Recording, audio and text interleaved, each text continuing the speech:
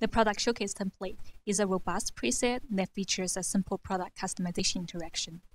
In this tutorial, we'll touch base the basic behavior system, especially changing an item's color. In the end, we'll be creating a color configurator. Now let's open up the template. The template itself has a minimalistic setting. The only thing we should concern about are the items in the front. To understand it better, let's play it first. So in the center, you can see we have a placeholder that's rotating, and items at the left are actually the color configurator. If we click each individual of them, you can see the model color is changed.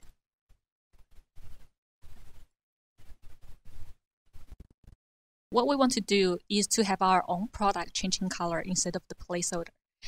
To do so, let's click on the item and then navigate to the first icon, the swap object feature in the context menu, and then upload our own model.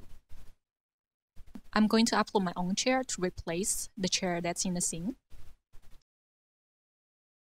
The model comes with a blue purplish color, but we probably want to start it with a white color. So let's change the hex code in the color. It also got a few children underneath. What we can do is to change the material of the leg of the chair to something else. Let's select the wood color that's provided by Brio, so the chair is not just plain white. And the actual chair body looks a bit too shiny. We can go to the material menu, click again to go to the advanced material option to modify each individual text channels. So let's have less metalness and more roughness for the chair. The chair looks so far so good. Let's hit play again. And it worked as we expected. Well, what if we want to customize our own colors? Let's see, we don't want this purple. Instead, we want it to be green. After we click the item, you can see we are first selecting the group. We have to click on the icon again to select the child within the group. With the purple circle selected, let's go to behavior. And you can see the whole behavior chain that's associated with this circle. In this case, we can tell that the light purple is the icon and after it's clicked, the chair will change color to purple.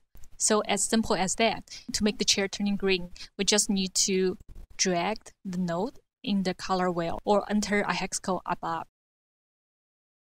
It's also got a 20 second timer on it to retain the color purple for 20 seconds. We also want to change this purple to green. So let's copy the hex code from the first uh, behavior and paste it into here. Now let's also change the color of the icon from purple to green. And then let's play it to see if it actually works. To add more color options is also easy.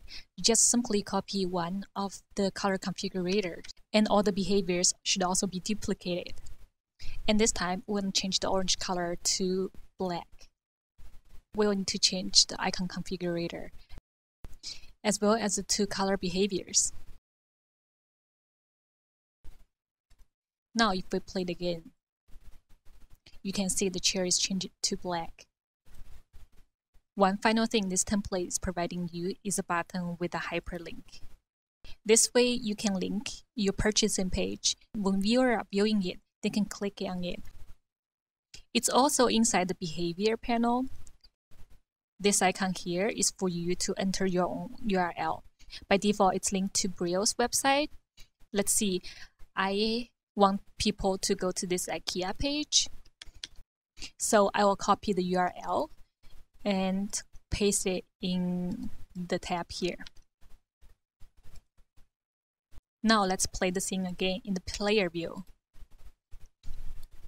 Hit buy now. You can see that it's linked you to the IKEA page. And all the color configurators here are working as well.